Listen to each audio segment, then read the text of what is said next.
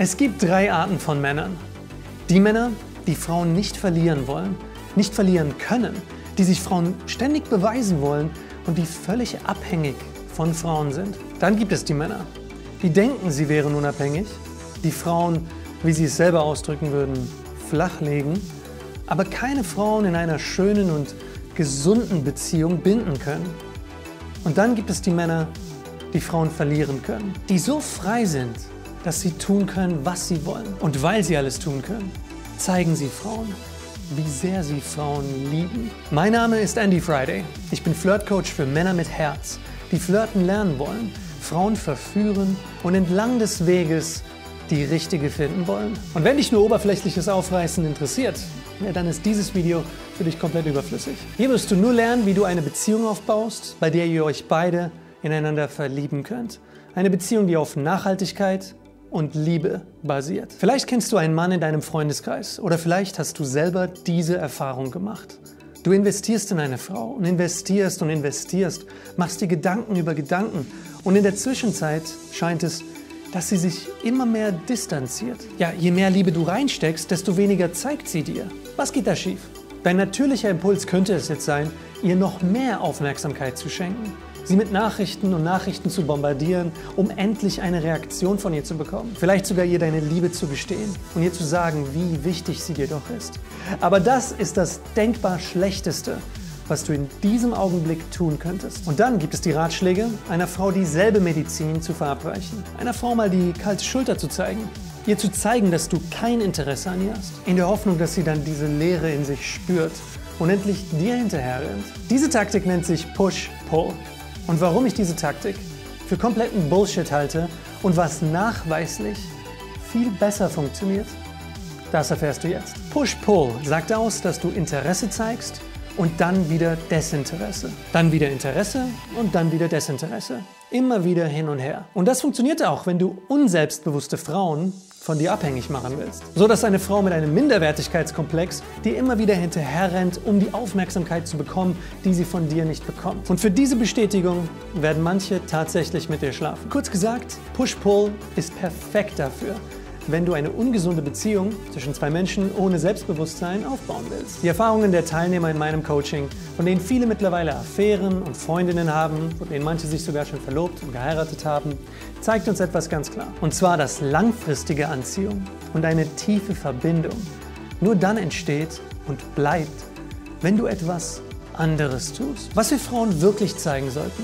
wenn wir langanhaltende Beziehungen aufbauen möchten, ist Interesse und Unabhängigkeit. Aber ist Interesse der Push und Unabhängigkeit dann nicht der Pull?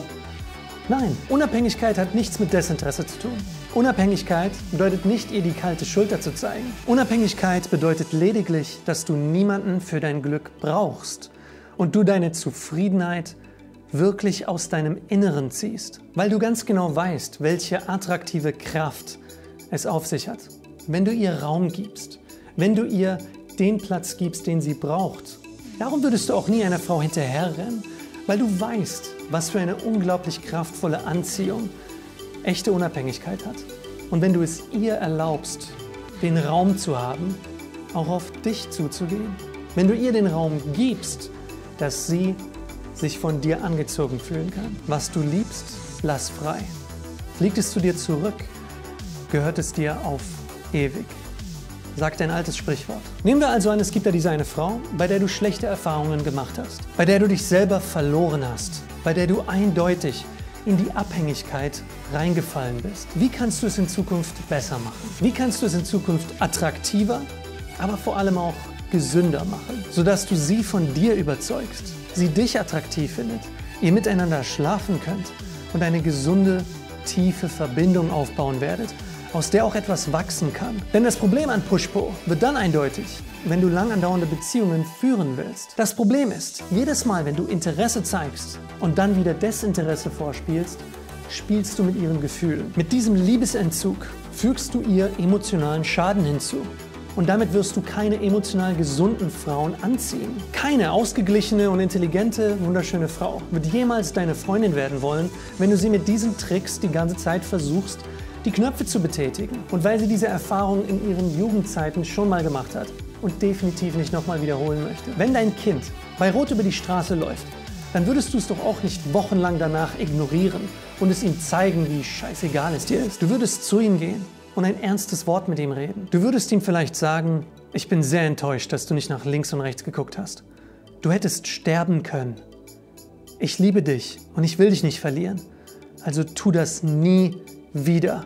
Verstanden? Du hast keine Angst, ein ernstes Wort mit ihm zu reden und ihm auch vor den Kopf zu stoßen. Du hast keine Angst, dass er sauer auf dich sein wird. Du bist bereit dazu, dass er dich für eine Weile vielleicht meiden wird, wenn du so harte Worte mit ihm gesprochen hast. Aber du tust das mit Liebe. Und auch wenn das ein sehr plastisches Beispiel war und vielleicht wenig Relevanz hat in deinem Liebesleben, zeigt genau das, diese Kombination aus Liebe und Unabhängigkeit, was gesunde Beziehungen hervorruft. Und diese Weltanschauung, die zeigst du Frauen schon von der allerersten Sekunde an. Ich will dich, aber ich bin nicht auf dich angewiesen. Meine Freundin und ich haben seit sechs Jahren eine Basis für unsere Beziehung, die auf Augenhöhe, Offenheit und Wertschätzung beruft. Aber das würde nicht gehen, wenn ich hier immer wieder, um ihr Interesse an mir zu wecken, mal Interesse vorgaukeln und dann wieder die kalte Schulter zeigen würde. Das sind infantile Tricks, die auf Dauer nicht funktionieren und die sowohl bei ihr als auch bei dir einfach nur unglücklich sein hervorruft. Darum solltest du wirklich aufpassen, wenn du im Internet von Männern hörst, die Männlichkeit und Dominanz miteinander missverstehen, die dir sagen wollen, wie du dich bei Frauen verhalten musst, um sie zu bekommen.